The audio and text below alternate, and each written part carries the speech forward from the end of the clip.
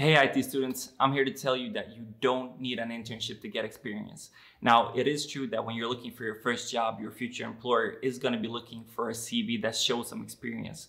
But the good news is that you only need a computer and an internet connection to get that. You don't need an internship. In this video, I'm going to tell you the story about how my personal websites were generating me a salary before I had even finished college. And more importantly, how you could do the same thing. The best case scenario, if you follow this plan, is that you're going to be making money online and you don't even have to look for a job. The worst case scenario is that you're going to build up a CV because you're going to be able to show to a future potential employer that you can take an idea and create a product or a service with it. Now, whether that succeeds or fails is not that important, but being that I myself am an employer, I really look to see that people can execute on projects. The reason I'm bringing this up now is because here at Zendevar IT Consultancy, we're getting more and more emails from young people that are looking for internship. And it's a really tough time to get an internship because most companies in this area are working from home due to COVID 19. So I sympathize with students that aren't able to get an internship. But again, the good news is you won't need an internship, just follow this plan in 2008 when i started my studies i knew right off the bat that i wanted to work for myself. I didn't want to get employed. I studied in gothenburg at the chalmers university. And for those of you that don't know anything about gothenburg um, volvo the car company, and man, that does many other things as well, is an offshoot to another Gothenburg company called SKF. So naturally, the education that we got at Chalmers, it felt like a preparation to get into that big industry to work for a Volvo and SKF and so on. But for me personally, that wasn't that attractive. I didn't like the idea of being a small cog in a huge ecosystem. I wanted to create something that was much smaller where I felt like I had creative control of what I was going to build.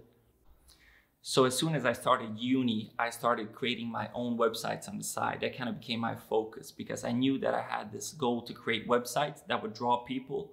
And when those people would visit my website, they had to be in large volumes. And the idea was simply to put up ads, Google AdSense for in my case.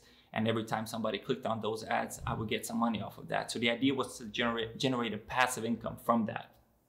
My first goal was that I would be making enough money to be able to pay for my lunch at college. And my final goal was that when I finished uni, I wouldn't have to get employed by the industry, but rather I would be making enough money from my websites so that I could just continue doing that. That was my goal. Here's the tough part though. For the first two years, I probably made a total of $200.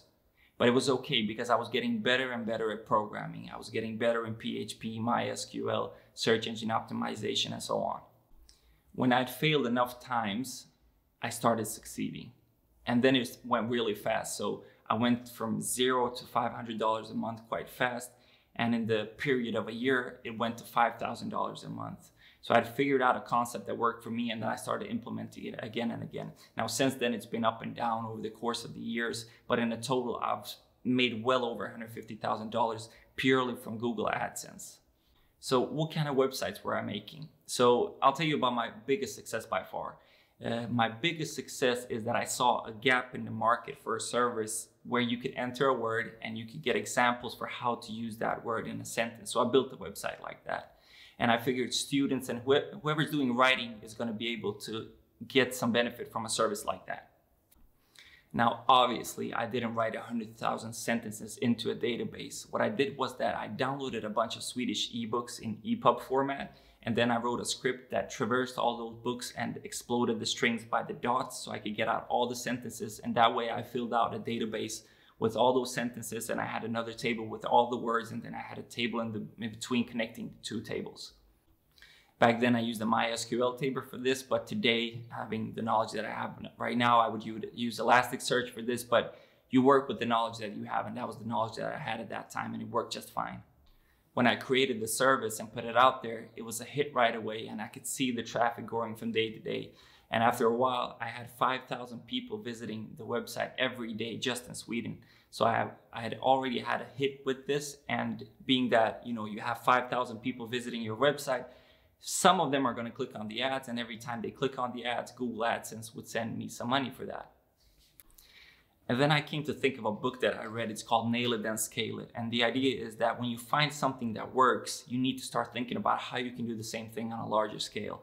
Now, being that this worked in Sweden, had a Swedish market, you know, with 10,000, 10 million people speaking Swedish, I figured what would happen if I did the same thing, but for the bigger languages. So if I did the same for the English, Spanish, German languages, and so on. And that's exactly what I did. And as, as expected, that was an even bigger hit. So that website, when it was at its peak, would have 100,000 visitors every day. Since I created the website, it's had over 50 million visitors. And even today, I haven't, you know, done any updates for years on the website. It has 50,000 people visiting it every day still now apart from being great for my personal economy, it's a fantastic feeling knowing that you had an idea and you stayed up late night, you were programming, you tried to take that idea and make it a reality, and you did. And the result was that you started affecting millions and millions of people all over the world. It's an, a crazy idea that 50 million times people all over the world had a problem, and my service was a solution to their problem. That's the power of the world that we live in today. You can see my AdSense account here showing income month, month by month and I'm still making money. So in 2020, October, I made 1400 euros from AdSense and I haven't touched the website basically since 2016 when I started Zendev, the IT consultancy. That became my focus. But I'm still getting checks every month from Google for a website or a service that I created earlier. That's what they call passive income. Now, creating these types of websites requires a lot of understanding for SEO specifically, but also a lot of small intricacies when you're creating your websites. It's a small difference between when I was not making money for two years to when I really started making money. If you're interested in this type of content in general, please comment below. You can just write, tell me more. And if I see that there's enough interest, I'll make sure to make a longer expanded version of this video that's, you know, 30, 40 minutes to really get into the details of what I did. If you think that this content is interesting in general, please follow me on LinkedIn, subscribe to our YouTube channel. I'll be talking about IT, business, startups, SEO. If this is the kind of content that interests you in general, And I hope to see you guys there in the future.